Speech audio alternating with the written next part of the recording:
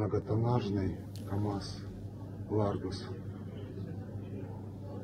При заезде, получается, Да. на В сторону Керчи. сторону Керчи. Правая полоса в сторону Керчи.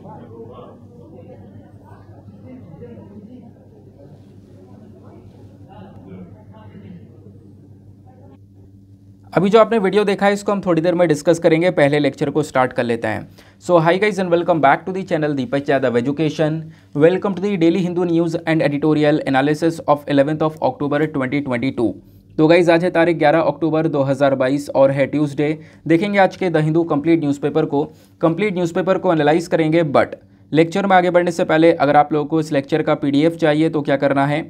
सबसे पहले डाउनलोड करना है टेलीग्राम देन उसके बाद जाके सर्च बॉक्स में टाइप करना Deepak Yadav education UPSC as you can see guys आप लोग को ये वाला चैनल मिल जाएगा, उस पर क्लिक करना और जाकर इस चैनल को ज्वाइन कर लेना। देखो, अगर आप लोगों को इस तरीके से ये चैनल नहीं मिलता है तो नीचे डिस्क्रिप्शन बॉक्स में पीडीएफ लिंक के नाम से एक लिंक दिया गया है। जैसे आप उस पर क्लिक करोगे ये चैनल ऑटोमेटिकली ओपन हो जाएगा, इसको जाके ज्वाइन कर लेना।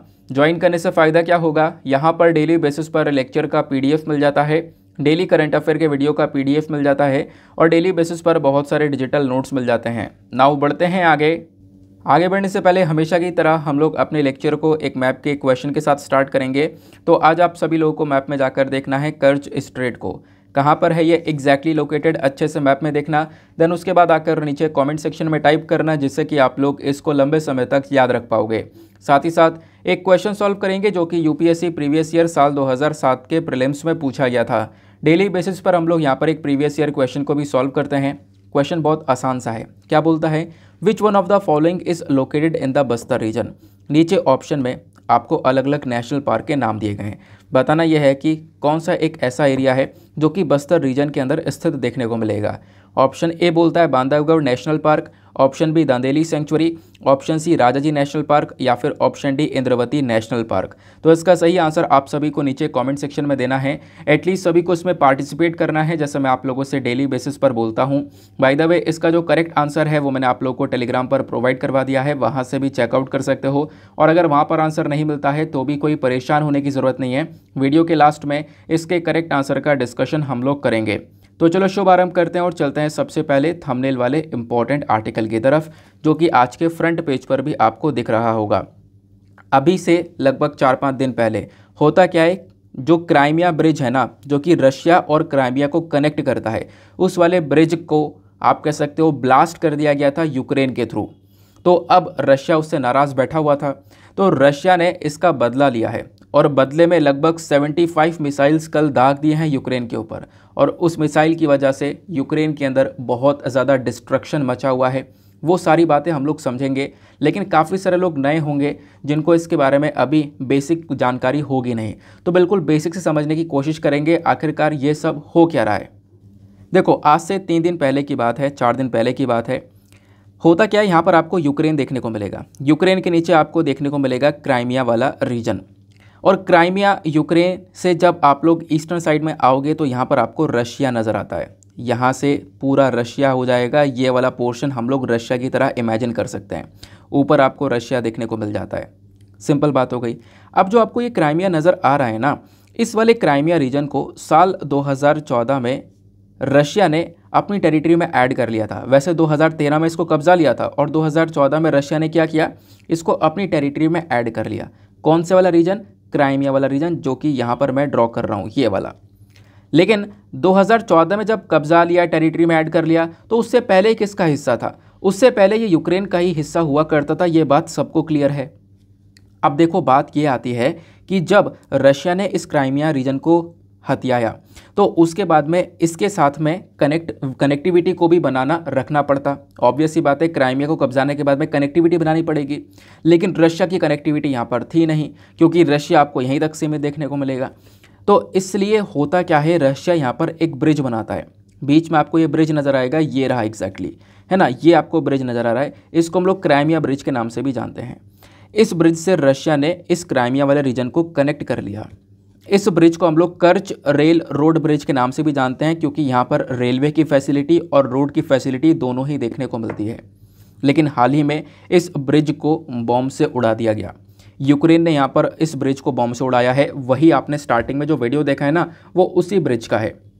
तो बॉम्ब से जब उड़ाया तो जो रेलवे ब्रिज है, वो तो थोड़ा सा बचा हुआ है, लेकिन जो रोड वाला ब्रिज है, वो पूरी तरह से ख़त्म हो चुका है। इससे रशिया को बहुत नुकसान हुआ बिलियंस ऑफ़ डॉलर्स का वो ब्रिज तैयार था।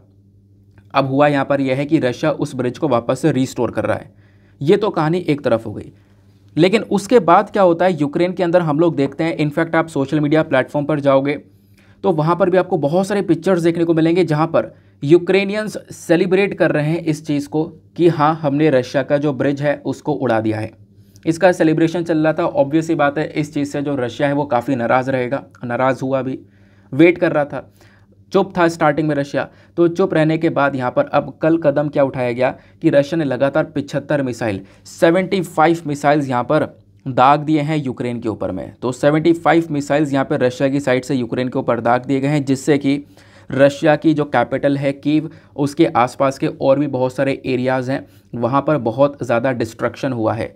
और ये वाली वीडियोज़ भी आपको सोशल मीडिया प्लेटफॉर्म्स पर देखने को मिल जाती हैं। तो जितनी भी बातें मैंने आपको बताई हैं, वो सब आपको यहाँ पर आर्टिकल में देखने को मिल जाती हैं। तो अभी क्या हुआ? जब ये ब्रिज डैमेज हुआ रशिया को नुकसान हुआ रशिया ने बाद में 75 मिसाइल्स दाग दिए और उन मिसाइल की अगर हम लोग बात करें तो वो यूक्रेन में जाकर हिट हुई हैं। खासकर यूक्रेन की कैपिटल की हो गया निप्रो रीजन हो गया जैपोरोजिया और लिविव नामक जो यहाँ पर शहर हैं, इन सभी शहरों को बुरी तरह से हिट करी हैं इन सभी मिसाइल्स ने। ये आप जैसे एक एरिया देख रहे होंगे, ये बेसिकली मिसाइल गिरने के बाद का जो डिस्ट्रक्शन है, उस पर्टिकुलर इमेज को यहाँ पर दिखाया गया है। फिर बोला ये जा रहा है कि आपने देखा यूक्रेन के जो प्रेसिडेंट हैं वोलोदिमिर जेलेंस्की इनका वीडियो भी बाहर आया कि रशिया का बहुत ज़्यादा अटैक हो रहा है, ये सारी चीज़ें, वो आपके एग्ज़ाम के लिए रेलिवेंट है ही नहीं। बस खाली इतना सा पॉइंट ध्यान रखना।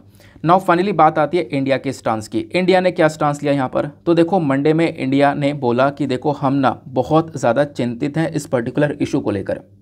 इंडिया ने अपना डीप कंसर्न दिखाया। इंडिया ने यहाँ पर बोला कि अब वो जो वॉयलेंस है ना, ये बहुत ज़्यादा बढ़ चुका है यूक्रेन के अंदर में। अब डीप कंसर्न दिखाते हुए भारत ने बोला है कि देखो, ज़रूरत हमें यह है कि इमीडिएटली तुरंत ही हमें कदम ये उठाना है कि ये दोनों कंट्रीज़ आपस में बैठकर बातचीत कर लें। बातचीत कर लेंगे, अपने आप में जो सोल्यूशन है वो निकल कर आएगा। नहीं तो ये जो वॉर है ना, ये और ज़्यादा बदतर रूप लेता चले जाएगा। तो ये था इस पूरे आर्टिकल के अंदर। आई होप आपको सारी बातें बहुत अच्छे से क्लियर हो चुकी हैं, बिल्कुल बैकग्राउंड इन्फॉर्मेशन के साथ में।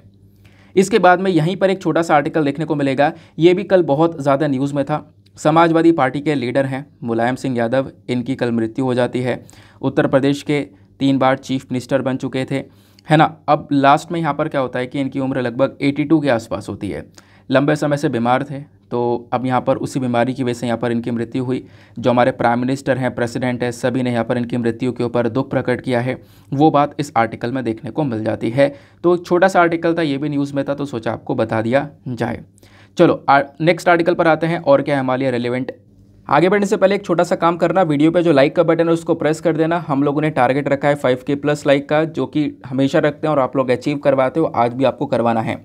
साथ ही साथ में, मेरे साथ में इंस्टाग्राम पे कनेक्ट हो सकते हो। इंस्टाग्राम पे जाना सर्च बॉक्स में टाइप करना दीपक यादव एजुकेशन आपको ये वाला प्रोफ़ाइल मिलेगा। यहाँ पे आप मेरे साथ में पर्सनली कनेक्ट कर पाओगे। और मेक श्योर sure करना कि आप लोग नीचे कमेंट में पार्टिसिपेशन करो। कमेंट में जो भी आपसे पूछा जाए, उसका आंसर लिखा करो। क्योंकि कमेंट में आपका पार्टिसिपेशन बढ़ेगा तो मेरे साथ में एंगेजमेंट आप सभी लोगों का बढ़ता रहता है। मतलब मैं लोगों के नाम से, उनकी प्रोफ़ाइल से, फिर उनको जानने लगता हूँ तो आप भी यहाँ पर कॉमेंट में पार्टिसिपेट किया करो। नाउ नेक्स्ट आर्टिकल पर आते हैं। अगला आर्टिकल आपको बिज़नेस पेज पर देखने को मिलेगा, लेकिन बहुत इंपॉर्टेंट है। आपको पता होगा नोबेल प्राइसेस दिए जा रहे हैं। अब जब नोबेल प्राइज़ की बात करते हैं तो ये अलग अलग कैटेगरीज में दिए जा रहे हैं। है ना फिज़िक्स की कैटेगरी में मेडिसिन की कैटेगरी में केमिस्ट्री हो गया नोबल पीस प्राइज़ हो गया। तो ये अलग अलग प्राइजेज़ हैं जो कि साल 2022 वाले दिए जा रहे हैं।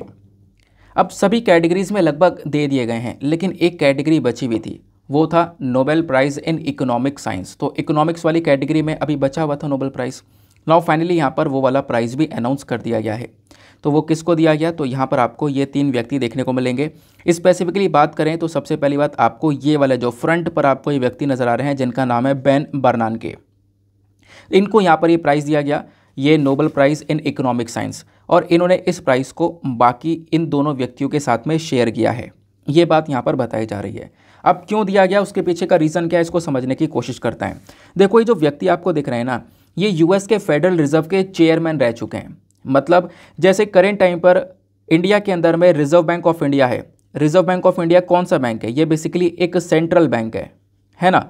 वैसे यहाँ पर यूएसए के अंदर अमेरिका का जो सेंट्रल बैंक है, वो क्या है? वो है फेडरल रिज़र्व तो फेडरल रिज़र्व के फॉर्मर चेयरमैन हैं, यानी कि एक समय पर वो चेयरमैन हुआ करते थे बेन बर्नान के। इनको यहाँ पर ये अवार्ड दिया गया Nobel prize in economic science obvious ही बात है बैंकिंग सेक्टर और फाइनेंस की बात कर रहे हैं तो यहाँ पर इकोनॉमिक साइंस का मुद्दा आ ही जाता है। तो इकोनॉमिक साइंस का अवार्ड इनको मिला। इन्होंने ये अवार्ड बाकी इन दोनों लोगों के साथ में शेयर किया है। इनका नाम भी ध्यान रखना डॉगलस डब्लू डायमंड ये हैं और दूसरे आपको फिलिप एच डिबविक देखने को मिलते हैं। क्वेश्चन यह है कि, सर रीज़न क्या है? क्यों दिया गया था ये नोबल प्राइज़ देखो, एक समय था साल 2007 से लेकर 2008 के बीच का। ये सभी लोगों को याद होगा। ठीक है ना? मतलब उस समय पर नहीं, अब जब लोग पढ़ते हैं तो याद होगा। इस वाले टाइम पीरियड को हम लोग फाइनेंशियल क्राइसिस के नाम से जानते हैं। यहाँ पर यह समय एक ऐसा समय था जहाँ पर बहुत ज़्यादा फाइनेंशियल क्राइसिस स्टार्ट हुआ। बहुत ज़्यादा बुरे हालात थे। दुनिया भर की इकोनॉमी पूरी तरह से डाउन हो चुकी थी। स्टॉक मार्केट वगैरह ख़त्म सा हो चुका था। बहुत डाउन लेवल पर था। ये हालात थे उस समय पर। अचानक से ये चीज़ें यहाँ पर देखने को मिली थी। लोग ना अपने बैंक से जो पैसा है उसको लगातार विड्रॉ कर रहे थे। बैंकों से पैसा निकल रहा था। बैंक पर कोई विश्वास वगैरह बचा नहीं था। ये सारी चीज़ें यहाँ पर नज़र आ रही थी। और अगर थोड़ा सा और लंबे समय तक यह हालात टेकते तो बैंक वगैरह का सिस्टम आप कह सकते हो एक तरीके से ख़त्म ही था क्योंकि लोगों ने बहुत सारा पैसा बैंकों से निकाल लिया था। ये बेसिकली फाइनेंशियल क्राइसिस का टाइम पीरियड था 2007 से 8 के बीच में। तो जो अमेरिका है ना, अमेरिका भी बहुत ज़्यादा डिप्रेशन से गुज़र रहा था। तो उस डिप्रेशन से या फिर आप कह सकते हो, उस इकोनॉमिक फॉल से निकालने का काम जो है ना, वो इन्हीं व्यक्ति ने किया था। उस अमेरिका को जो एक बेसिकली डिप्रेशन में पूरी तरह से फंसा हुआ था, उस डिप्रेशन से बाहर निकाला था बेन बारनानके ने। तो दैट इज़ वाई यहाँ पर इनको ये Nobel prize in economic science दिया गया है। बाकी इन दो व्यक्तियों का क्या काम है, जिनके साथ में इन्होंने अपना प्राइज़ शेयर किया। देखो, यहाँ पर ये जो मिस्टर डायमंड हैं और साथ ही साथ में मिस्टर डिब्विग हैं, इन्होंने यहाँ पर क्या किया ना, इन्होंने यहाँ पर बोला बेसिकली इन्होंने ज़ोर दिया कि जो सरकार है वो क्या करे, लोगों के डिपॉजिट के ऊपर गारंटी प्रोवाइड करवाए। मतलब क्या है, मैं आपको समझाता हूँ। लोगों ने बैंकों से पैसा निकालना स्टार्ट कर दिया था। तो यहाँ पर इन्होंने बोला कि भैया, जो सरकार है वो क्या कर सकती है? वो यहाँ पर इंश्योर कर सकती है कि लोगों ने जो भी पैसा डिपॉजिट किया है ना, उसके ऊपर गारंटी प्रोवाइड करवाए। आपका पैसा सही है, बिल्कुल सेफ़ है। एक गारंटी उनके डिपॉजिट के ऊपर मिल जाएगी तो लोग यहाँ पर वो पैसा नहीं निकालेंगे। जिसकी वजह से फाइनेंशियल क्राइसिस थोड़ा सा थमा था। तो इनका भी काफ़ी बड़ा रोल था और इनका रोल था ही। ये उस समय पर आप कह सकते हो कि मैंने आपको बताया ना फेडरल रिज़र्व के चेयरपर्सन हुआ करते थे। जिसकी वजह से यहाँ पर इनको ये Nobel prize in economic science दिया गया। ये थी पूरी कहानी। छोटा सा आर्टिकल था छोटा सा पैरा था, सारी एक एक इन्फॉर्मेशन मैंने आपको बता दी है। करना क्या है? एग्ज़ाम के लिए आपको ध्यान में रखना है नोबल प्राइज़ इन इकोनॉमिक्स साथ ही साथ में ये तीन नाम आपको ध्यान में रखना है। ये साल 2022 की कैटेगरी वाले हैं।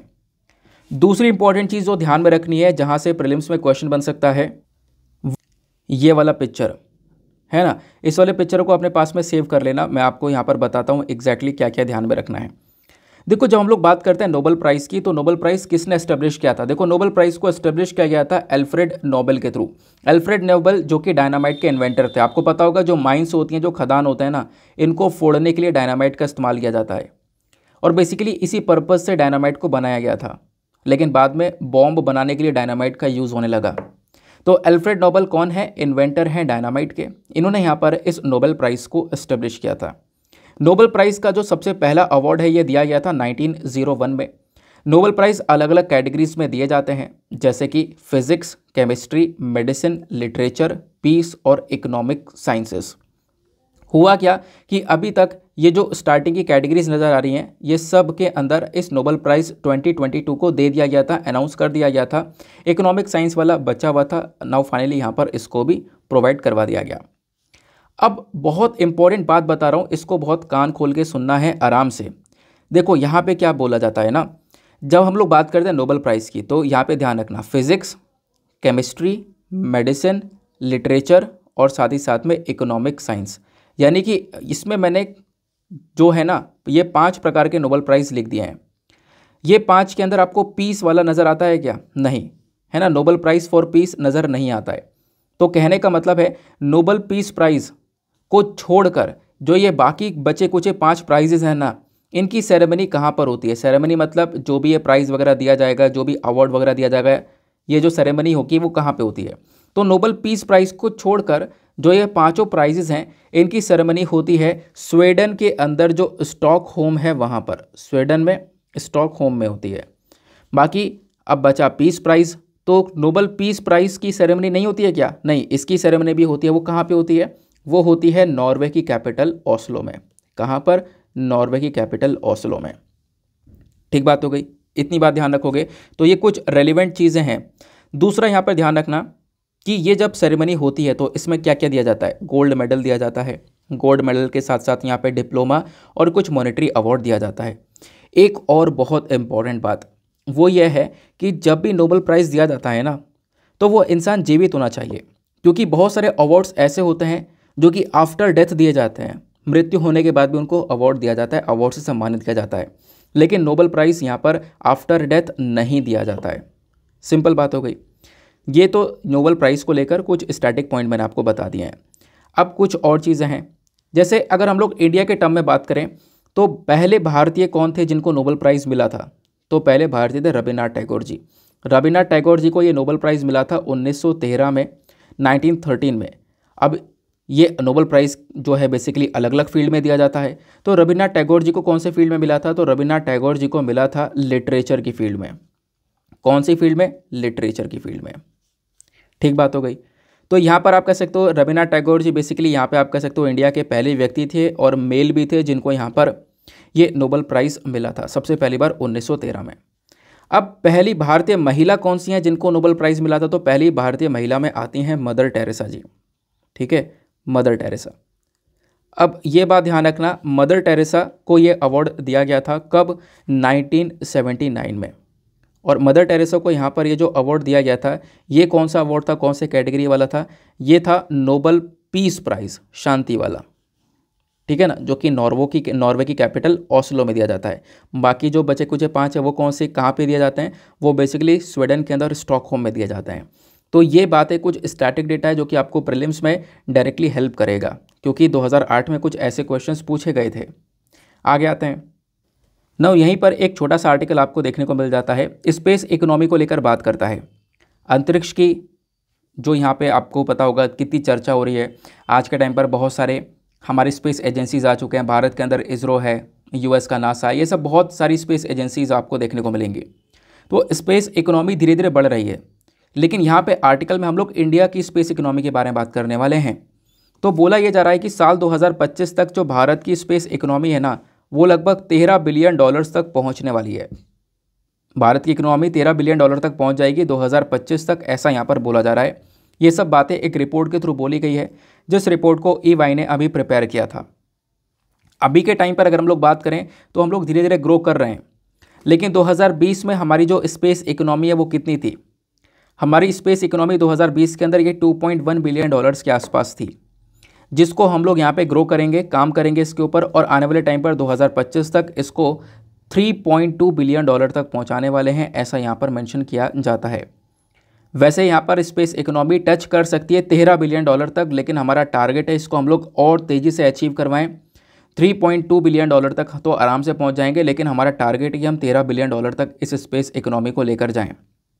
क्योंकि हम लोग आज के टाइम पर स्पेस सेक्टर में काफ़ी सारी तरीके से काम कर रहे हैं, बहुत सारी सैटेलाइट सर्विसेज़ वगैरह प्रोवाइड करवा रहे हैं। तो ये जो पर्टिकुलर सेक्टर है हमारा, वो बहुत तेज़ी से ग्रो हो रहा है।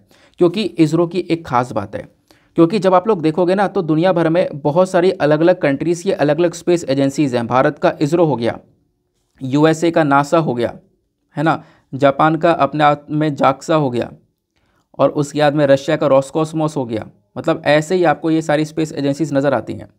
तो इनमें से, पता है, इसरो की क्या खासियत है? इसरो की खासियत यहाँ पर यह है कि इसरो इन सभी स्पेस एजेंसीज़ के कंपैरिजन में सस्ते दाम में सैटेलाइट को लॉन्च कर देता है। हम लोग बहुत सस्ते दाम में अपना काम कर देते हैं। इनफैक्ट जो मंगलयान मिशन था, आपको पता होगा, वो भी हमने बहुत सस्ते दाम में लॉन्च कर दिया था। यहाँ पे आप कह सकते हो, ये कंट्रीज़ विश्वास नहीं कर रही थी कि हाँ इसरो ने ये काम कर दिया है इतने सस्ते दाम में। हॉलीवुड मूवीज़ का जितना बजट होता है ना, उतने बजट में मंगलयान मिशन को लॉन्च कर दिया गया था। ये बात यहाँ पर आपको देखने को मिलती है। तो इसके चक्कर में बहुत सारी कंट्रीज़ हम लोगों से सैटेलाइट वगैरह लॉन्च भी करवाती हैं, जिसकी वजह से इंडिया की जो कैपेबिलिटीज़ है वो काफ़ी बढ़ चुकी हैं और इंडिया का जो इसरो है इसने काफ़ी ग्रो किया है। हमारी स्पेस इकोनॉमी काफ़ी तेज़ी से बढ़ चुकी है, वो बात यहाँ पर बोला जा रहा है। अब बेसिकली यहाँ पर प्राइवेट पार्टिसिपेशन को ही बढ़ाया जा रहा है। प्राइवेट एजेंसीज भी आ रही हैं लेटेस्ट टेक्नोलॉजी आ रही है। इससे आने वाले टाइम पर इसको और बूस्ट मिलेगा। तो हो सकता है कि हम लोग 13 बिलियन डॉलर का जो स्पेस इकोनॉमी है, वो टच कर जाएँ, वो अचीव कर जाएँ 2025 तक। समझ में आई बात? चलो, आगे आते हैं उसके बाद अगले आर्टिकल पर। नेक्स्ट आर्टिकल आपको यहाँ पर देखने को मिलेगा, इसको आप लोग जीएस पेपर नंबर टू और जीएस पेपर नंबर थ्री से रिलेट कर पाओगे। बात की जा रही है जो पाकिस्तान है, ये हिस्सा लेने वाला है शांघाई कोऑपरेशन ऑर्गेनाइजेशन का, जो एंटी टेरर एक्सरसाइज चल रहा है ना, जो कि भारत इसको होस्ट कर रहा है। इस एक्सरसाइज की जो क्लोजिंग सेरेमनी होने वाली है, उस क्लोजिंग सेरेमनी के अंदर पाकिस्तान हिस्सा लेने वाला है, ऐसा यहाँ पर बोला जा रहा है। तो पाकिस्तान को बेसिकली यहाँ पर इन्वाइट किया गया है क्लोजिंग सेरेमनी में, यानी तेरह अक्टूबर को। अभी दो दिन बाद क्लोजिंग सेरेमनी होने वाली है, क्योंकि अभी एक अभ्यास चल रहा है। और वो अभ्यास है एंटी टेरर एक्सरसाइज यानी कि आतंकवाद को ख़त्म करने का अभ्यास चल रहा है। कौन सी बॉडी के अंदर चल रहा है? वो शांघाई कोऑपरेशन ऑर्गेनाइजेशन के अंदर चल रहा है। इस बॉडी के अंडर में यहाँ पर ये पूरा का पूरा अभ्यास चल रहा है। तो होता यहाँ पर यह है कि इसकी क्लोजिंग सेरेमनी होगी, इस अभ्यास को ख़त्म किया जाएगा तेरह अक्टूबर को। तो तेरह अक्टूबर को यहाँ पर जो पाकिस्तान है, वो हिस्सा लेने वाला है। ये यहाँ पर बात की जा रही है। ऐसा यहाँ पर पिछले साल भी हुआ था। पिछले साल पाकिस्तान इस पर्टिकुलर सेरेमनी को होस्ट कर रहा था तो इंडिया ने यहाँ पर बिल्कुल लास्ट में हिस्सा लिया था। है ना? जो क्लोजिंग सेरेमनी थी, इंडिया ने लास्ट में उसमें हिस्सा लिया था, वो बात यहाँ पर मेंशन की जाती है। ठीक बात हो गई। तो इसमें कुछ भी खास नहीं है। थोड़ा सा टाइम रुक जाओ। परसों यहाँ पर आर्टिकल वापस से न्यूज़ में आने वाला है। बस खाली इतना ही से ही ध्यान रखना। और पाकिस्तान को इन्वाइट इसलिए भी किया गया है ताकि हम लोग पाकिस्तान के साथ में बैठ थोड़ा सा डिस्कशन कर सकें। डिस्कशन किस चीज़ को लेकर है? कि जो टेररिज्म है, जो आतंकवाद है, उससे कैसे लड़ा जा सकता है? वो चीज़ें हम लोग यहाँ पर डिस्कस कर सकें। और इंडिया ने भी यहाँ पर इसी प्रकार से, मैंने आपको बताया ना, साल 2021 के अंदर पार्टिसिपेट किया था। जब साल 2021 यानी पिछले साल पाकिस्तान इसको होस्ट कर रहा था, इस बार इंडिया यहाँ पर इसको होस्ट कर रहा है। तो ध्यान रखना Shanghai cooperation organisation SCO S के अंदर में ही क्या होता है? जॉइंट एंटी टेरर एक्साइज होती है, आतंकवाद को ख़त्म करने का अभ्यास होता है। अब ये बात क्लियर हो गई। दूसरी इंपॉर्टेंट बात जो आपको इस पर्टिकुलर आर्टिकल से समझनी है, वो यहाँ पर है S Shanghai cooperation organisation exactly है क्या? क्योंकि यूपीएससी ने साल 2022 में, यानी अब की बार के प्रीलिम्स में ही पूछ लिया था कि इंडिया क्या एससीओ का पार्ट है या नहीं है। इस प्रकार का क्वेश्चन आपको देखने को मिलेगा। तो एससीओ बेसिकली एक परमानेंट इंटर गवर्नमेंटल ऑर्गेनाइजेशन है, यानी कि इंटरनेशनल लेवल पर जो अलग अलग कंट्रीज़ इस एस की मेंबर्स हैं, उनकी सरकारें आपस में मिलकर काम करती हैं। यहाँ पे आप देखोगे, इस पर्टिकुलर बॉडी को बनाया गया था साल 2001 में। एस चार्टर को साइन किया गया था 2002 में। एस काम करना स्टार्ट कर दिया है साल 2003 से। S C O Shanghai cooperation organisation के नाम से जाना जाता है। लेकिन ये एक समय पहले एससीओ के नाम से नहीं जाना जाया करता था, इसको शांघाई फाइव के नाम से जाना जाया करता था। मतलब आप देखोगे साल 2001 से पहले की अगर हम लोग बात करें तो इसको शांघाई कोऑपरेशन ऑर्गेनाइजेशन के नाम से ना जानकर हम लोग शांघाई फाइव के नाम से जाना करते थे। तो शांघाई फाइव के नाम से क्यों जाना करते थे? क्योंकि इसके अंदर सिर्फ़ और सिर्फ़ पाँच देश हुआ करते थे। और वो पाँच देश कौन कौन से हैं? वो है Kazakhstan, China, Kyrgyzstan, Russia, Tajikistan. यही यहाँ पर स्टार्टिंग में इसके पाँच मेंबर्स हुआ करते थे। लेकिन बाद में साल 2001 में इसमें उज़्बेकिस्तान भी ऐड हो जाता है। तो हो गए छः। अब शांघाई फाइव वाला जो नाम है, इसका रखने से कोई मतलब बैठा नहीं, क्योंकि इसके अंदर हैं छः मेंबर्स। तो इसका नाम बदल दिया गया। शांघाई कोऑपरेशन ऑर्गेनाइजेशन यानी कि एस इसका नाम कर दिया गया। फिर बाद में ये ग्रुप ऐसे ही चलता रहा। फिर साल 2017 आता है। 2017 में इंडिया और पाकिस्तान दोनों ही इसके मेंबर बन जाते हैं। यानी छः मेंबर पहले से ही थे। अब इंडिया पाकिस्तान इसके मेंबर बन गए तो टोटल आठ हो गए। फिर उसके बाद में पिछले साल 17 सितंबर 2021 में अनाउंसमेंट ये होता है कि ईरान भी इसका एक मेंबर बन जाएगा। तो एस का मेंबर ईरान भी बन जाएगा तो ईरान को बनने के लिए भी यहाँ पर बातचीत की जाती है।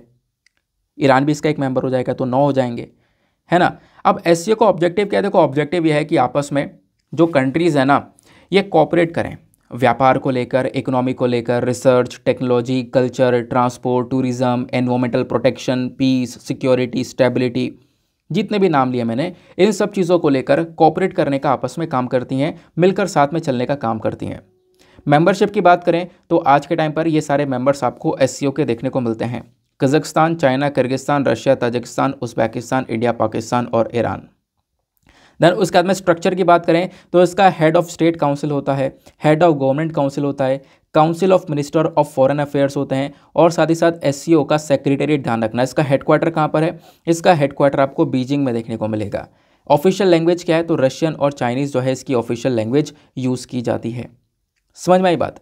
तो एक सिंपल सी बात थी, यहाँ पर कुछ भी ऐसा खास आपको मतलब रटने वाला ध्यान नहीं रटने वाली चीज़ नहीं देखने को मिलेगी, जो बातें मैंने आपको बताई हैं, ये मैं आपको पढ़ाता रहता हूँ रेगुलर बेसिस पर। ये बातें आपके दिमाग में ऑलरेडी बैठ गई होंगी।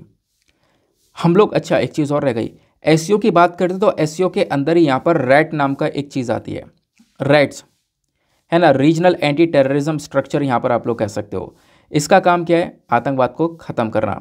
एस के अंदर रैट जो है ना, ये बेसिकली ये भी एक परमानेंट बॉडी देखने को मिलती है एस की, जिसका काम है टेररिज्म एक्सट्रीमिज़म और सेपरेटिज़म को रोकने।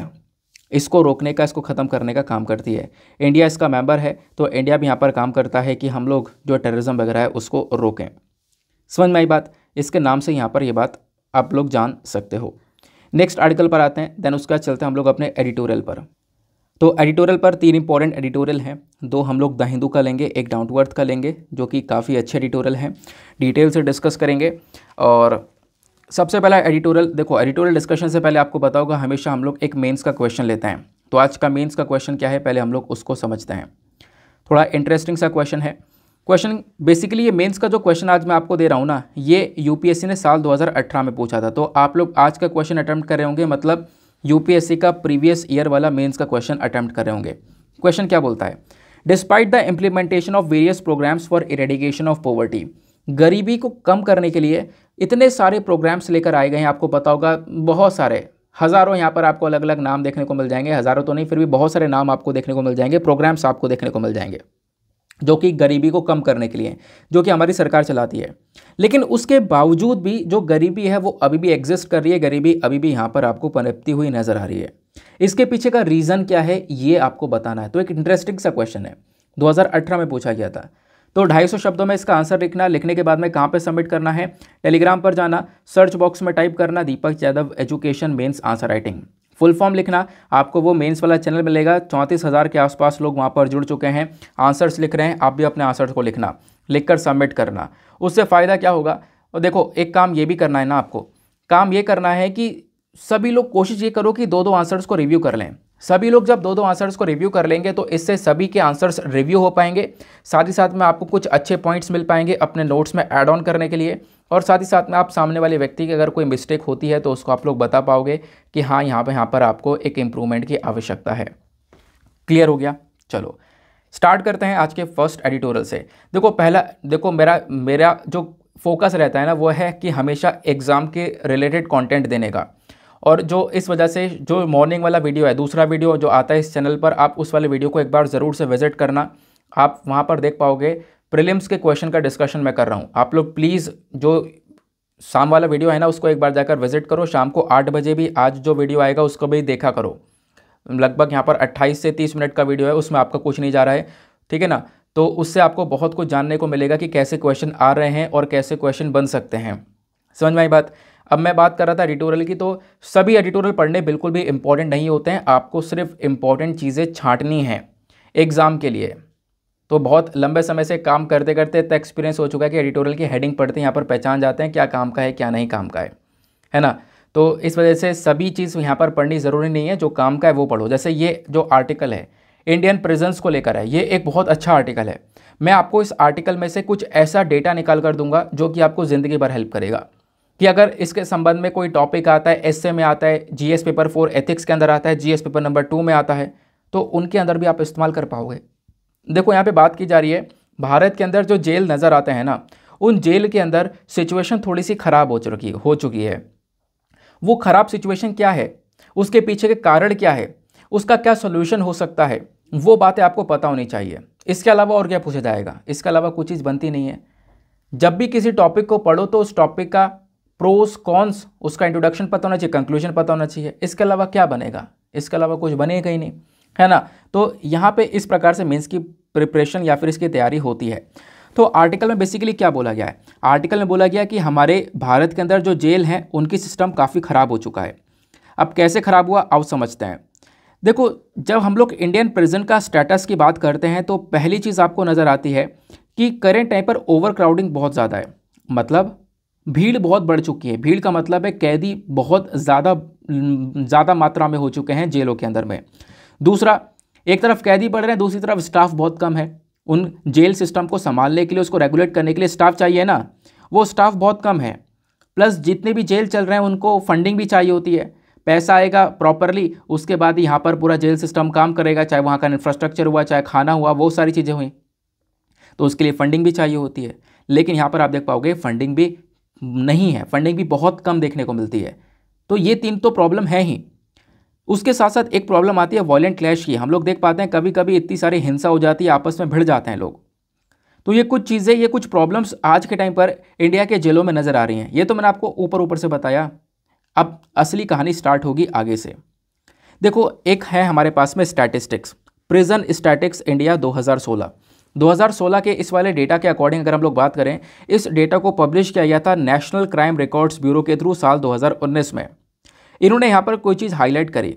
इन्होंने यहाँ पर यह बोला कि भारत के अंदर जो कैदी हैं ना, उनकी संख्या लगातार इंक्रीज़ हो रही है। और सबसे इंपॉर्टेंट बात, जो भी कैदी बढ़ रहे हैं, वो अंडर ट्रायल वाली पॉपुलेशन वाले कैदी देखने को मिलेंगे। वेरी वेरी इंपॉर्टेंट मतलब इंडिया के अंदर जो अंडर ट्रायल वाली पॉपुलेशन है अंडर ट्रायल मतलब अभी मुजरिम साबित नहीं हुए हैं, अभी उनके ऊपर ट्रायल चल रहा है बस खाली। तो ये वाली संख्या बहुत ज़्यादा है। इनफैक्ट भारत के अंदर अंडर ट्रायल वाले कैदी इतने ज़्यादा हैं कि इस पर्टिकुलर डेटा में हम लोग दुनिया में टॉप करते हैं। दुनिया में भारत से ज़्यादा अंडर ट्रायल वाले कैदी किसी देश में नहीं है। इनफैक्ट जितने भी कैदी आपको देखने को मिलते हैं मतलब जितने भी कैदी हो गए भारत के अंदर। उसमें से आधे से ज़्यादा अंडर ट्रायल वाले हैं। इनको कस्टडी में ले रखा है।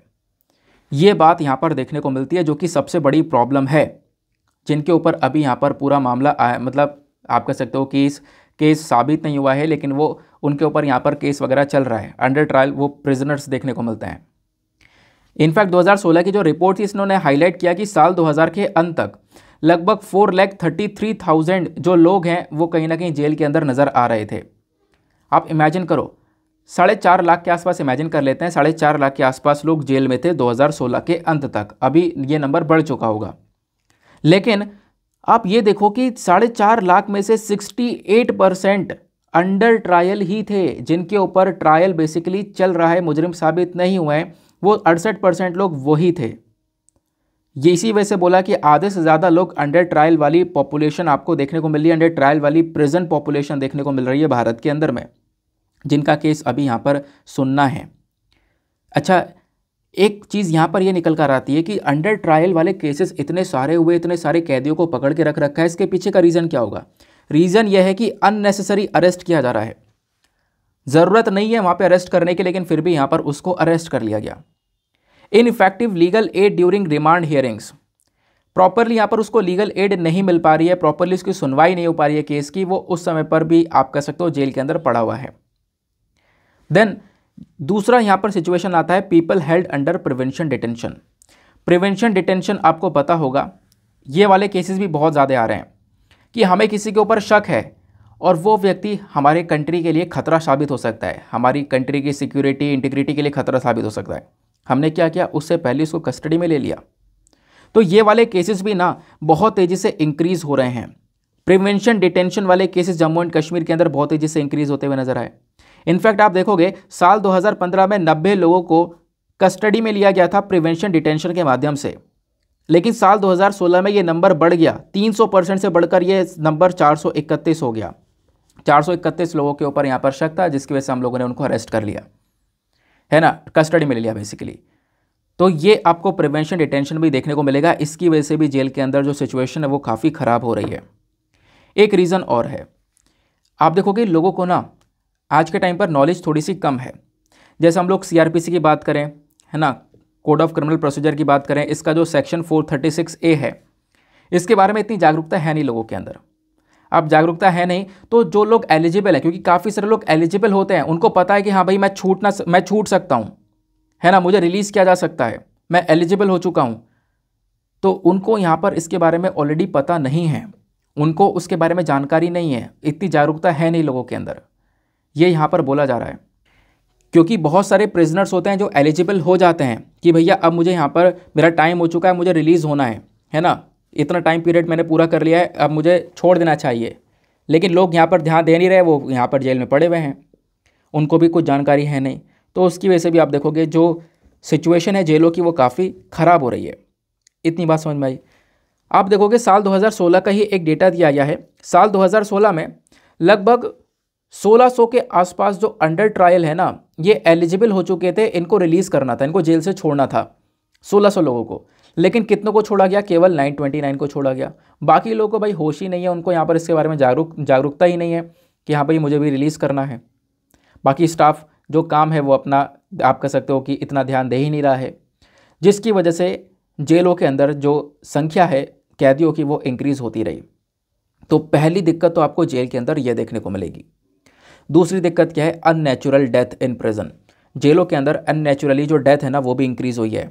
नंबर ऑफ़ अननेचुरल डेथ 2015-16 को कंपेयर करोगे तो 2015 में 115 के आसपास मृत्यु हुई थी और 2016 में 231 हो गई तो अननेचुरल डेथ इंक्रीज़ हुई हैं। सुसाइड भी यहाँ पर इंक्रीज़ होते हुए नज़र आए, लोगों ने आत्महत्या भी करी है जेल के अंदर, जो कैदी हैं। इसके अंदर 28 परसेंट से बढ़ोतरी देखने को मिली है। 2015 में लगभग यहाँ पर 77 के आसपास सुसाइड थी 2016 में 102 के आसपास ये सुसाइड हो चुकी हैं।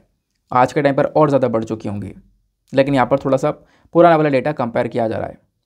देन यहाँ पर बात की जाती है lack of mental health professional एक और दिक्कत बहुत बड़ी यह है कि बहुत सारे लोग मेंटल प्रॉब्लम से गुजर रहे हैं इन जेल के अंदर, लेकिन अब उनको देखने के लिए एक मेंटल हेल्थ प्रोफेशनल होना चाहिए, लेकिन उनकी भी बहुत ज़्यादा कमी है।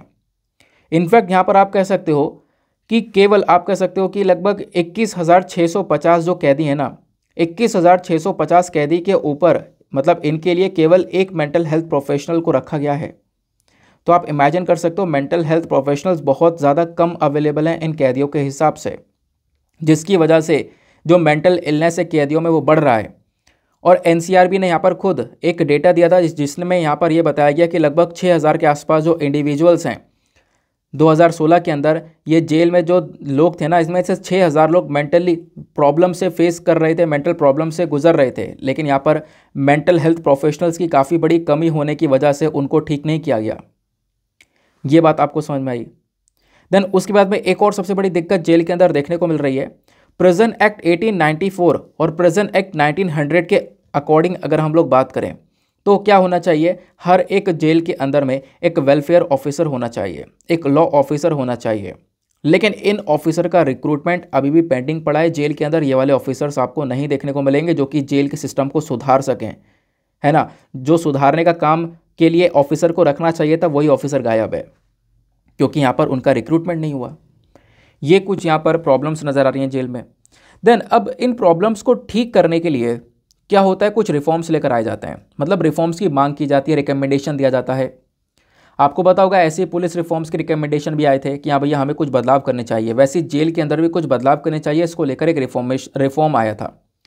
हुआ कैसे, ये सब मैं आपको समझाता हूँ। सुप्रीम कोर्ट ने क्या किया, एक कमेटी को अपॉइंट किया। जस्टिस अमितवा रॉय रिटायर्ड कमेटी यहाँ पर बनती है। मतलब ये अमित रॉय साहब रिटायर्ड थे तो यहाँ पर इनके नाम पे कमेटी को बनाया गया।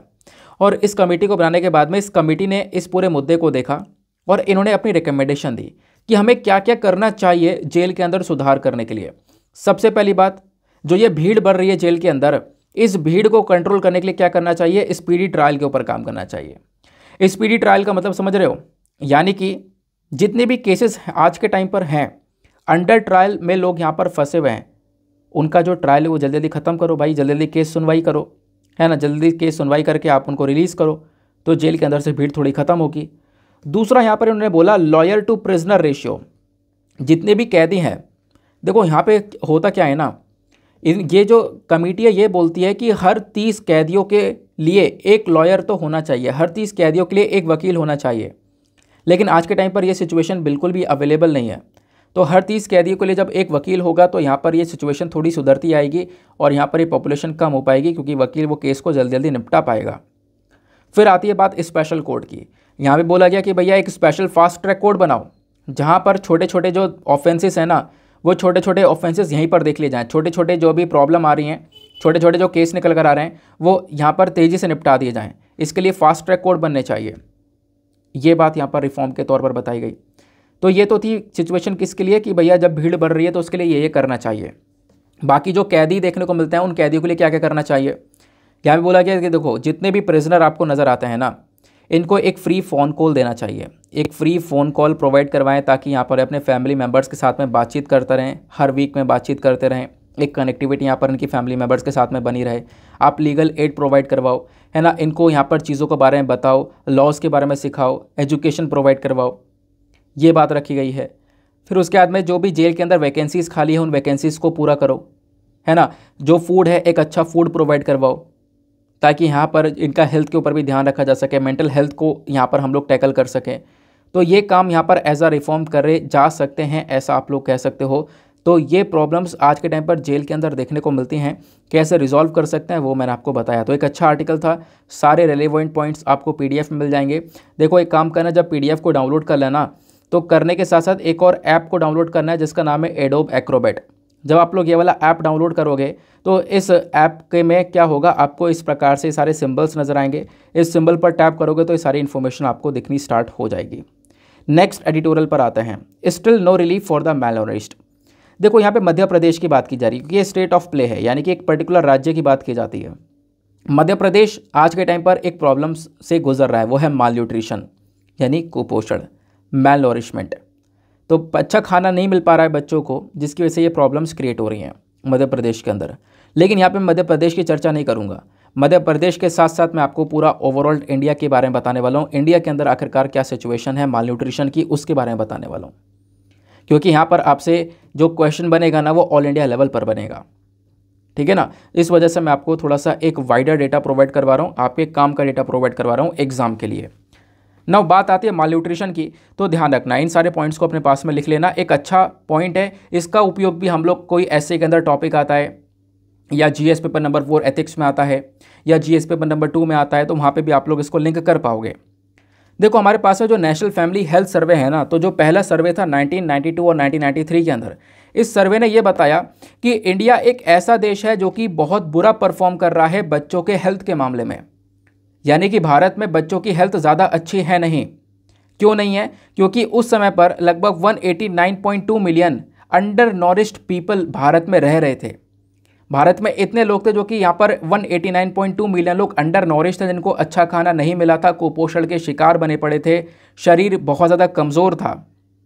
और इन लोगों में से ज़्यादातर महिलाएँ और बच्चे ही पीड़ित थे। महिलाएँ और बच्चे यहाँ पर इस माल न्यूट्रिशन से सबसे ज़्यादा सफ़र करते हैं।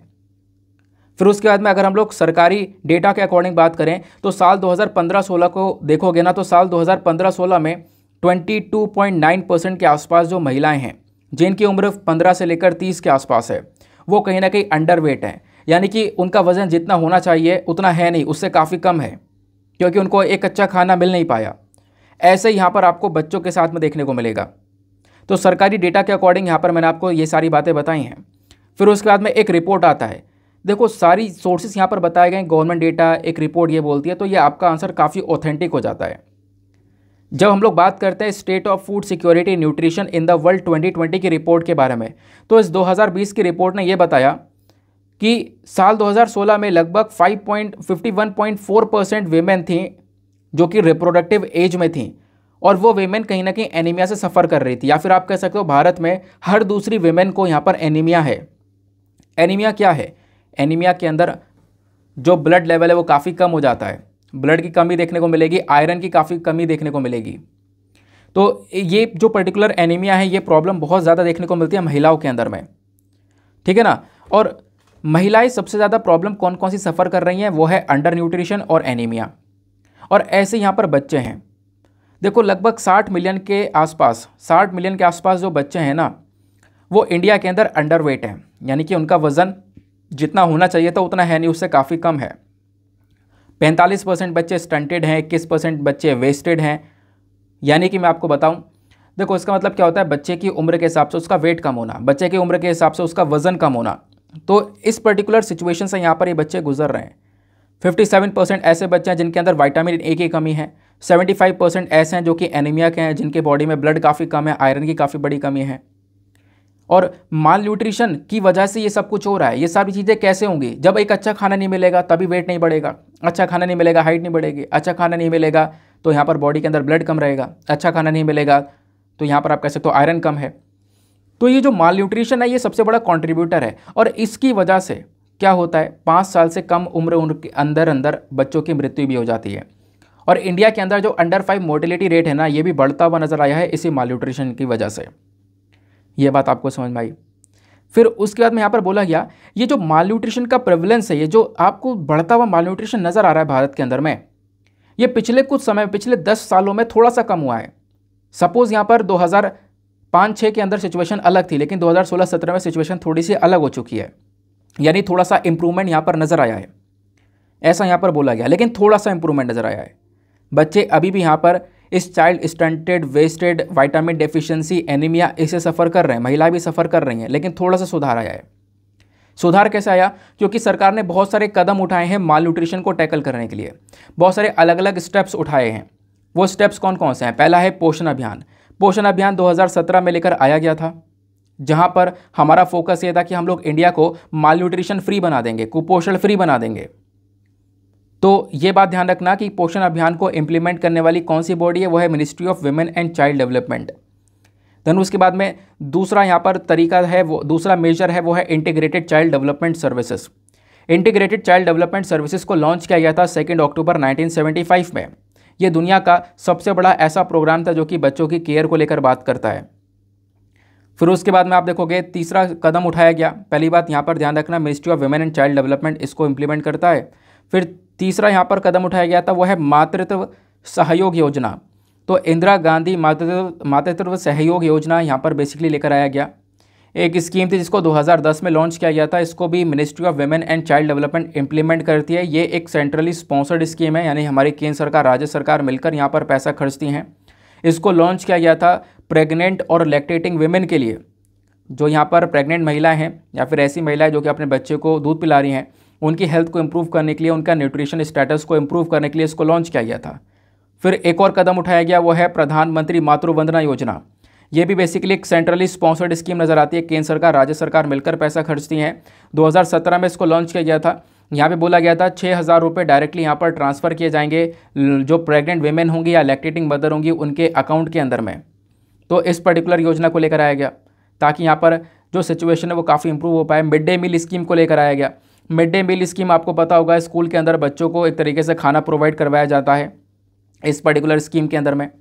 तो ये कुछ कदम उठाए गए हैं माल न्यूट्रिशन को टैकल करने के लिए, जिसकी वजह से थोड़ा सा माल न्यूट्रिशन कम हुआ है थोड़ा सा जितना हम सोच रहे थे उतना नहीं कम हुआ है, लेकिन थोड़ा सा यहाँ पर आप कह सकते हो कि इसके अंदर डिक्लाइन देखने को मिला है, ऐसा आप कह सकते हो।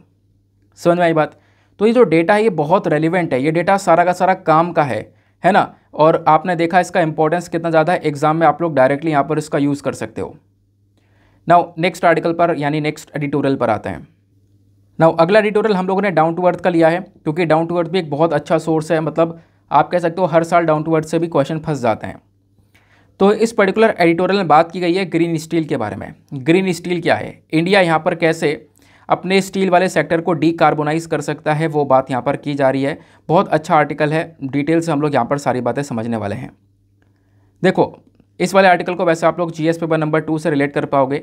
सिलेबस के अंदर टॉपिक है गवर्नमेंट पॉलिसीज़ इंटरवेंशंस का। साथ ही साथ जीएस पेपर नंबर थ्री के अंदर एनवायरमेंट का टॉपिक नज़र आता है। तो कॉन्टेक्स्ट क्या है? कॉन्टेक्स्ट यहाँ पर यह है क्लीन स्टील जो सेक्टर है ना क्लीन स्टील सेक्टर हमारे इंडिया के अंदर में, ये थोड़ा सा इंपॉर्टेंट बन चुका है।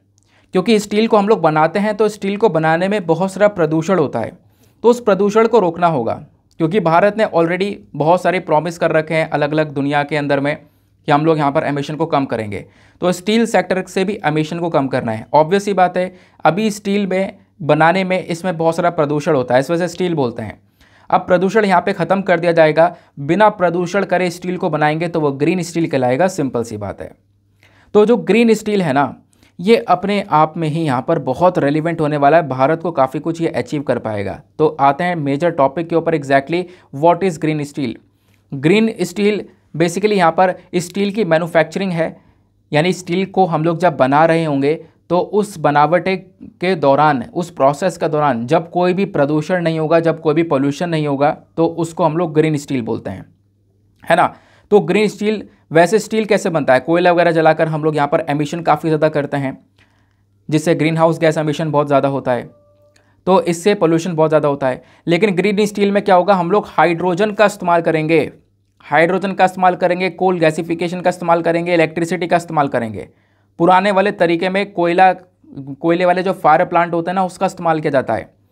तो उससे बहुत भरपूर मात्रा में कोयला जलाया जाता है तो उससे पोल्यूशन निकलता है। तो वो मेथड ना उपयोग करके हाइड्रोजन कोल गैसिफिकेशन या बिजली का इस्तेमाल करके हम लोग क्या कर सकते हैं?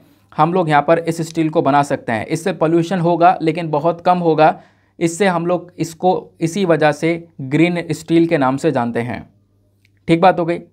आगे आते हैं। देखो, यहाँ पे बोला गया, जिस हाइड्रोजन का हम लोग इस्तेमाल करेंगे स्टील को बनाने में, वो ब्लू हाइड्रोजन होगा ग्रीन हाइड्रोजन होगा। क्योंकि हाइड्रोजन को भी हम लोग पानी के अंदर इलेक्ट्रोलिसिस करके बनाते हैं। और पानी के अंदर इलेक्ट्रोलिसिस कैसे किया जाएगा? बिजली की मदद से।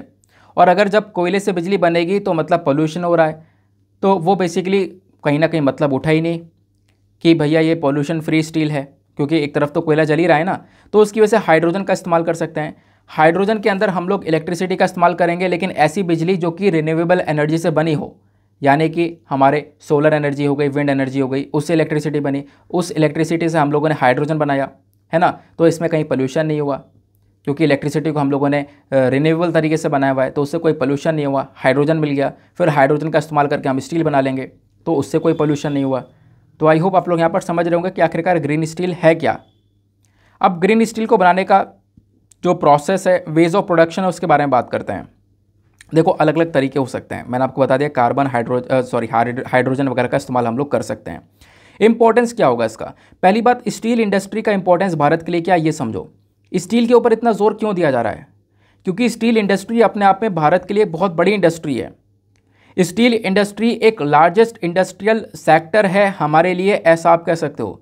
और करेंट टाइम पर, आज के टाइम पर आप देखोगे तो ऑब्वियसली बात एक बहुत बड़ा सेक्टर है तो स्टील को बनाने के लिए बहुत सारा पोल्यूशन होता है। तो इस वजह से वो पोल्यूशन हमें कम भी करना है, क्योंकि हम लोग पहले भी कसम खा चुके हैं बहुत सारे अलग अलग इंटरनेशनल लेवल पर। कॉन्फ्रेंस ऑफ़ पार्टीज़ की मीटिंग हुई थी। वहाँ पर हम लोगों ने टारगेट ये रखा है 2070 तक हम लोग नेट ज़ीरो कार्बन एमिशन की तरफ़ बढ़ेंगे। पोल्यूशन को पूरी तरह से ख़त्म कर देंगे। लेकिन करेंट टाइम पर हो क्या रहा है? सिचुएशन जो है ना, इसको अचीव करने के लिए, जो हमने गोल डिसाइड किया, उसको अचीव करने के लिए करना क्या होगा? पोल्यूशन ऑब्वियस सी बातें कम करना होगा। तो उसको कम कैसे किया जा सकता है? हम लोग स्टील के अंदर जो कोयले को जलाया का, जलाया जा रहा है, कोयले को जलाकर स्टील बनाई जा रही है, उस चीज़ को हम लोग रोक कर वहाँ पर रेनेबल एनर्जी का इस्तेमाल कर सकते हैं। समझ में आई बात? तो सिचुएशन आज के टाइम पर थोड़ी सी चैलेंजिंग है। हमारी स्टील सेक्टर में सबसे बड़ा चैलेंज यही है कि देखो, जो ग्रीन स्टील मैन्युफैक्चरिंग है ना, ये थोड़ा सा एक्सपेंसिव प्रोसेस हो जाएगा। करने को तो हम लोग ग्रीन स्टील को बना लें। देखो, एक तरफ़ जो आज स्टील बन रही है, कोयला जलाकर बन रही है, बहुत आसान तरीका है, उसमें इतना खर्चा नहीं है। लेकिन जब ग्रीन स्टील को बनाना होगा तो उसके लिए हमें हाइड्रोजन चाहिए। हाइड्रोजन को बनाने के लिए भी इलेक्ट्रोलिसिस का प्रोसेस चाहिए और उस इलेक्ट्रोलिसिस के लिए इलेक्ट्रिसिटी चाहिए और वो इलेक्ट्रिसिटी रिन्यूएबल एनर्जी से बननी चाहिए। तो यहाँ पर थोड़ा सा प्रोसेस एक्सपेंसिव हो जाएगा, थोड़ा ज़्यादा पैसा लगने लगेगा। तो ये कहीं ना कहीं एक चैलेंज नज़र आता है। ना अब बात आती है यहाँ पर हाइड्रोजन के प्रकार की। हाइड्रोजन के, आपको पता होगा अलग अलग प्रकार हैं। Green hydrogen brown hydrogen green hydrogen वो होता है देखो, जब हम लोग एक बिजली से बना रहे होते हैं, लेकिन वो बिजली सोलर एनर्जी से सोलर एनर्जी होती है या विंड एनर्जी होती है ब्राउन हाइड्रोजन बेसिकली यहाँ पर आप कह सकते हो, जब कोयला जलाकर बनाया जाता है तो मतलब एक तरीके से उससे पोल्यूशन नहीं हो रहा है। ब्लू हाइड्रोजन में आप कह सकते हो पोल्यूशन होता तो है, लेकिन उस पोल्यूशन को कैप्चर कर लिया जाता है। समझ में आई बात? नाउ अब हम लोग बात करते हैं, ये जो स्टील का स्टेटस है ना, भारत के अंदर जो स्टील का प्रोडक्शन होता है, इसका स्टेटस एग्जैक्टली क्या है? देखो इंडिया दुनिया में सेकंड लार्जेस्ट प्रोड्यूसर है कच्चे स्टील को बनाने में। सेकंड लार्जेस्ट प्रोड्यूसर पर आते हैं, हम लोग सबसे ज़्यादा कच्चे स्टील को बनाते हैं। और साल 2021-22 के अंदर हम लोगों ने 120 मिलियन टन के आसपास कच्चा स्टील बनाया था। रिजर्व्स की अगर हम लोग बात करें तो लगभग 80 परसेंट से ज़्यादा जो हमारे देश का स्टील का रिज़र्व है, स्टील के जो भंडार हैं, वो कहाँ कहाँ पर सबसे ज़्यादा देखने को मिलते हैं? Odisha, Jharkhand, West Bengal, Chhattisgarh, northern region of Andhra Pradesh के अंदर देखने को मिलते हैं। अब इंपॉर्टेंट स्टील प्रोड्यूसिंग सेंटर्स की बात करें तो कुछ ऐसे एरियाज़ जहाँ पर सबसे ज़्यादा स्टील का प्रोडक्शन किया जाता है तो वो है छत्तीसगढ़ के अंदर भिलाई वेस्ट बंगाल के अंदर दुर्गापुर वेस्ट बंगाल के अंदर बनपुर देन झारखंड के अंदर जमशेदपुर, ओडिशा के अंदर रौरकेला देन झारखंड के अंदर बोकारो। ये कुछ ऐसे एरियाज़ आपको नज़र आते हैं जहाँ पर सबसे ज़्यादा स्टील का प्रोडक्शन होता है। तो स्टील प्रोडक्शन के मामले में भारत सेकेंड नंबर पर है। कंजम्पशन के मामले में बात करें तो कंजम्पशन के मामले में भी हम लोग सेकंड नंबर पर हैं, क्योंकि हम लोग काफ़ी सारा प्रोड्यूस करने के बाद में कंज्यूम भी करते हैं। फ़र्स्ट नंबर का जो कंज्यूमर है, वो है चाइना चाइना भी बहुत सारा स्टील का कंजम्पशन करता है। तो अब यहाँ पर वे फॉरवर्ड क्या है? क्या कर सकते हैं हम लोग? कर ये सकते हैं कि कॉस्ट इफ़ेक्टिव टेक्नोलॉजीज़ को अडॉप्ट कर सकते हैं। कुछ ऐसी टेक्नोलॉजीज़ को अडॉप्ट करो जिसमें ज़्यादा खर्चा भी ना हो और उससे ज़्यादा पोल्यूशन भी ना हो और हम लोग स्टील को बना भी पाएँ। ठीक बात हो गई। देखो स्टील को जब बनाते हैं ना तो इसमें से बहुत सारा अलग अलग पोल्यूशन निकलता है। जैसे carbon monoxide carbon dioxide oxide of sulphur oxide of nitrogen P M two point five waste water hazardous waste solid waste ये सारा वेस्ट ये सारा कूड़ा करकट यहाँ पर स्टील से निकलता है जब हम लोग स्टील का प्रोडक्शन करते हैं। तो आपको एक ऐसी टेक्नोलॉजी बनानी होगी एयर फ़िल्टर वाटर फ़िल्टर का इस्तेमाल कर सकते हो, जिससे हम लोग एमिशन को, हम लोग पॉल्यूशन को कम से कम कर सकें। ये बात यहाँ पर रखी जा रही है। समझ में आई बात? तो आप देखोगे ये एडिटोरियल काफ़ी रेलिवेंट था क्योंकि इसको लेकर यूपीएससी ने ऑलरेडी पहले भी क्वेश्चन पूछा है। साल 2014 में आप देखोगे क्वेश्चन पूछा था। क्वेश्चन क्या था? Which of the following are some important pollutants release by steel industry in India इनमें से नीचे ऑप्शन में जो दिए गए हैं पॉल्यूटेंट्स इनमें से कौन सा पॉल्यूटेंट है जब हम लोग स्टील को बनाते हैं तो रिलीज़ होता है। Oxide of sulphur nitrogen carbon monoxide carbon dioxide इसका करेक्ट आंसर क्या है? करेक्ट आंसर डी देखने को मिलेगा। ये सारी चीज़ें रिलीज़ होती हैं क्योंकि मैंने अभी आपको बताया, है ना? अभी मैंने आपको दिखाया, इसमें carbon monoxide carbon dioxide then oxide of sulphur oxide of nitrogen ये सारी चीज़ें रिलीज़ होती हैं। समझ में आई बात? तो ये यहाँ पर ध्यान में रखना, ये डेटा मैं आपको टेलीग्राम पर प्रोवाइड करवा दूँगा। प्लीज़ वहाँ से डाउनलोड कर लीजिएगा क्योंकि इंपॉर्टेंट है। आगे आते हैं। ना फाइनली आज की वोकेबलरीज को देखते हैं। आज के वोकैब क्या क्या है? पहला वोकैब है थ्रोंग थ्रोंग मतलब भीड़ लगाना। देन आता है लैक्स लैक्स मतलब लापरवाह देन एंशियस एंशियस मतलब चिंतित. देन जियोपार्डी जियोपार्डी मतलब खतरा. देन फॉरगो फॉरगो मतलब त्यागना या डू विदाउट ठीक है ना? तो ये कुछ इंपॉर्टेंट एडिटोरियल्स थे तो हमारा एडिटोरियल भी हो गया। कुछ छोटे क्वेश्चन हम लोगों ने लिए थे। बाकी कल वाला मैंने एक पिक्चर आपसे बोला था, आज डिस्कस करूँगा। यार, मेरे गले में दर्द होने लगा है। मैं डिस्कस करता हूँ आप लोगों से कल। ठीक है ना? आज भी वीडियो थोड़ा सा लेट हो चुका है। मुझे, देखो, दिक्कत ये है कि आजकल न्यूज़पेपर थोड़ा सा लेट आ रहा है। पहले तीन बजे आता था। आप चार बजे आ रहा है तो एक घंटे का डिफरेंस है। पहले इस वजह से जल्दी अपलोड हो जाया करता था, अब थोड़ा सा डिफरेंस नज़र आ रहा है। है ना? वैसे कोई बात नहीं, मैं इस प्रॉब्लम का सोल्यूशन भी निकाल लूँगा डोंट वरी लेकिन ये आज का सेशन था और अब हम लोग फटाफट प्रीलिम्स के क्वेश्चन को भी देख लेते हैं कि इसमें से कौन सा रीजन है जो बस्तर रीजन में आता है। तो इसका आंसर है डी इंद्रवती नेशनल पार्क आपको बस्तर रीजन में देखने को मिलेगा। बाकी हम लोगों ने सभी आर्टिकल वैसे जो भी इंपॉर्टेंट है वो डिस्कस कर लिए हैं, छोटे, बड़े एडिटोरियल वगैरह सब कुछ एक बात ध्यान में रखना, वो ये है कि शाम वाला वीडियो ज़रूर से जाकर एक बार आप लोग देख लेना, क्योंकि शाम वाले वीडियो में आपको बहुत ज़्यादा हेल्प मिलने वाली है, ठीक है ना? नाउ इसी के साथ में करते हैं हम लोग अपने लेक्चर को समाप्त और मिलते हैं आपसे अगले वीडियो में। आज के लिए bye bye have a nice day thank you and जय हिंद।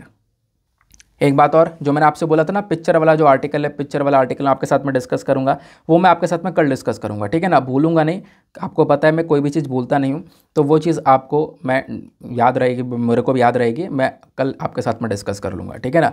वैसे पिक्चर वाला आर्टिकल मैंने सेव करके रख रखा है, वो आपके साथ में कल डिस्कस कर लिया जाएगा।